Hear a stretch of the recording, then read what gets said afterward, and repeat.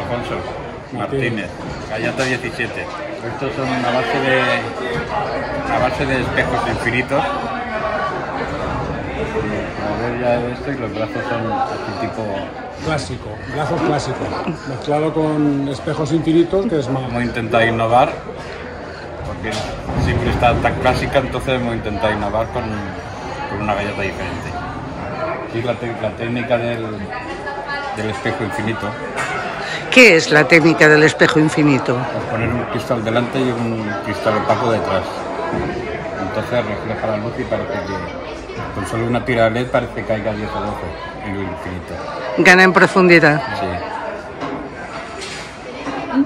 La tira de LED y el espía delante. ¿Ves? Hace el reflejo de luces y parece que tenga toda la profundidad.